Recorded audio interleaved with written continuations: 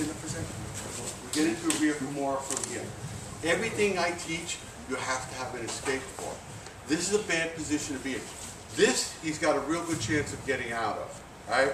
Here, it's a little bit harder, right, from here. However, it's not impossible.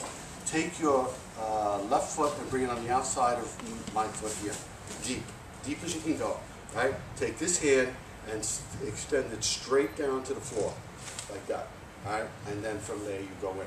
This is the escape. It's a very, very simple technique. If you have from here, right, I step and I drop right into the triangle, right? Now, when you do the triangle, if you end up chest to chest, you're screwed. He's gonna spin and come out onto the check for me. So just move his shoulder and come from here, all right? So just move the shoulder and do the triangle from here. Don't try going into a rear naked choke at this point. There's too much movement. Remember, the fine motor skills go out the window. You're sweating, you're nervous, your adrenaline is pumping.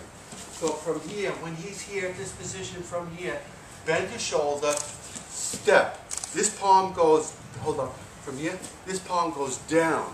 Now, it lifts the shoulder up, and just move the shoulder over from here and choke.